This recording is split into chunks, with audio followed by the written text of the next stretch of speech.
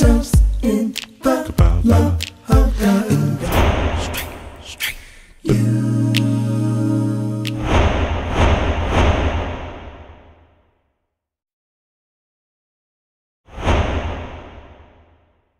Honored and blessed that we have been given the chance to be called your children. We'll never let you down, so we promise you that.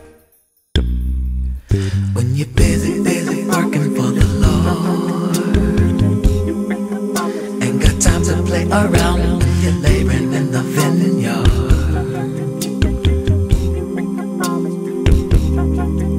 And the seeds that you're dropping all around. Check again to see if some of them have found some good